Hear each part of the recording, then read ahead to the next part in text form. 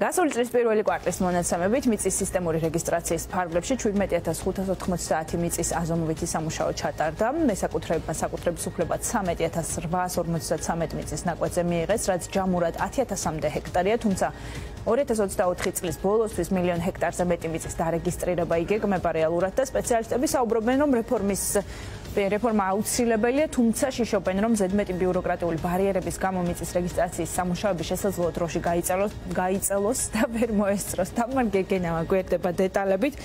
თამარ, რა რისკებზე მიუთითებენ სპეციალისტები? იმით უნდა დავიწყო, რომ მიწის სისტემური რეგისტრაცია არც ისე მარტივი პროცესია. ახალი სულაც არ არის, რომ მთელი ქვეყნის მასშტაბით უამრავი ნაკვეთი მესაკუთრის გარეშე იყო დარჩენილი და ადამიანებს თავიანთი საკუთრების დამადასტურებელი დოკუმენტიც კი არ ჰქონდათ წლების განმავლობაში. სულ პირველად ასეთი საკუთრების დოკუმენტების გაცემა 90-იან წლებში დაიწყო, თუმცა მაშინაც არაერთი ნაკვეთის ფართობი ერთმანეთს ემთხვეოდა და ბევრი რომ არ გავაგზავნო საკმაოდ ჩახლართული მემკვიდრეობა ჰქონდა ამ მიმართულებით. დღესდღეობით მცირეწლოვით უნდა ითქვას, რომ პროცესი დაწყებულია.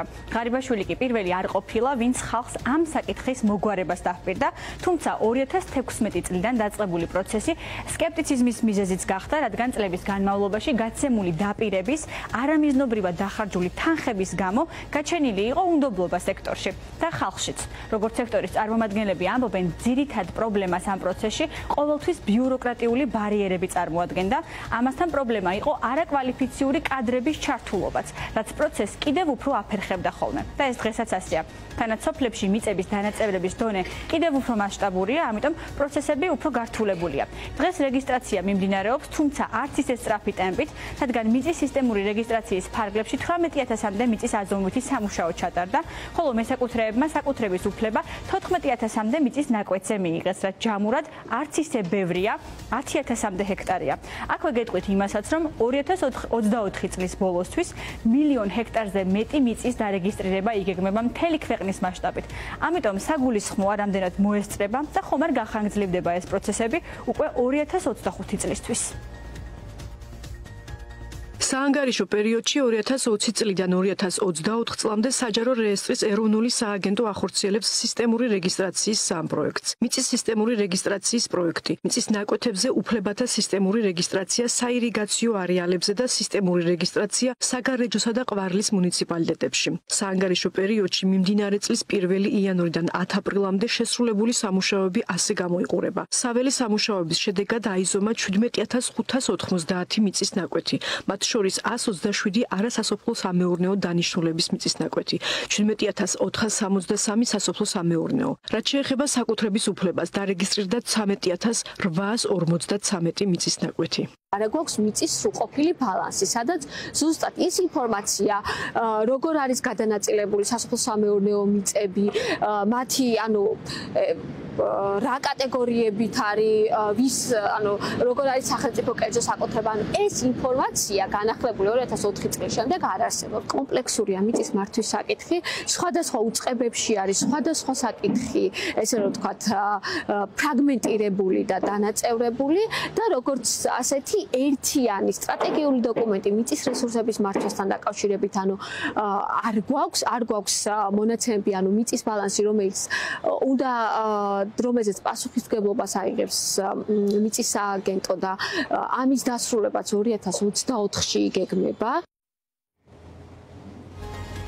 იმის გათვალისწინებით, რომ წლების განმავლობაში ჩვენ არ ფლობდით ინფორმაციას, რამდენი ან რა კატეგორიის მიწებია ქვეყანაში, ეს ყოველივე აფერხებდა იმას, რომ შექმნილიყო პირობითად მიწის სრულყოფილი ბალანსი და შემდგომ შესაბამისად მიწის რესურსების მართვის დოკუმენტი.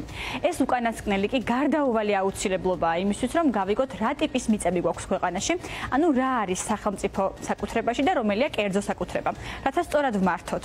სპეციალისტების თქმით, ჩვენ ზუსტად უნდა ვიცოდეთ, რას ფლობთ, რომ ერთხელ და სამუდამოდ სამუდამოდ გადაიჭრას მაგალითად საძოვრების პრობლემას, რადგან როგორც იცით, საძოვრებისთვის გამოსადეგი მიწების ნაწილი არის სახელმწიფო საკუთრებაში. ამოქმედა კიდეც პროგრამა, რომლის ფარგლებშიც იჯარით უნდა გადაეცათ მოქალაქეებისთვის საძოვრებად გამოსაყენებელი მიწები. თუმცა, აქაც დიდ ბიუროკრატიას აწყდებიან ფერმერები, ადგილობრივი ადგილობრივი მუნიციპალიტეტების მხრიდან და დღემდე რთულად მოსაძიებელია ის ადამიანოსაძიებელია ის ადამიანი, რომელიც მაგალითად ამ პროგრამით სარგებლობს. ამასთან ერთად არ უნდა გამოგვრჩეს ხორბლის დასათეს უმეტესად ვარგისი მიწების გამოყოფაც. საქართველოში სადაც წყალთან ერთად მიწაც საკმაოდ უხვად გვაქვს, ისეთი მიწების მოძიება უჭირთ, სადაც პირობითად დათესავენ მარცვლეულს და შესაბამისად გაზრდიან შიდა წარმოებას. როგორც იცით, მხოლოდ შიდა მოხმარებისას ჩვენ 15%-ს გვქნით ხორბალს, ანუ სასურსათო უსაფრთხოება დაზღვეული არ გვაქვს. სრულად იმპორტზე ვართ დამოკიდებული, თანაც ისევ და ისევ რუსეთიდან. წესით მიწის კადასტრი თუ გვექნება, მსგავსი პრობლემები უნდა გადაიჭრას. გვეცოდინება რას ფლობთ და რისი გამოყენება შეგვიძლია გონივრულად.